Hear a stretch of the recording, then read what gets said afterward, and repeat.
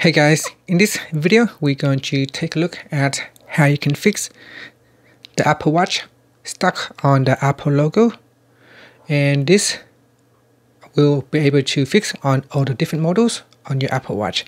So what you want to do is press and hold on the button here and the side button. So press and hold like this. Press and hold for around 10 to 15 seconds. So press and hold and just continue to hold until you see the Apple logo appear on the screen. So continue to hold, press on both buttons at the same time.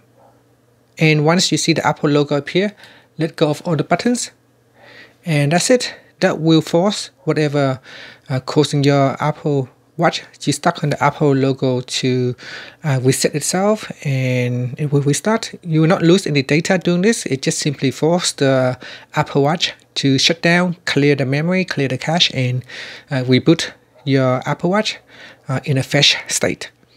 And give it a few minutes for the Apple Watch to uh, boot up and back into your lock screen. And from here, you can enter the passcode.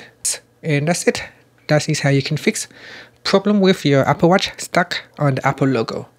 Thank you for watching this video. Please subscribe to my channel for more videos.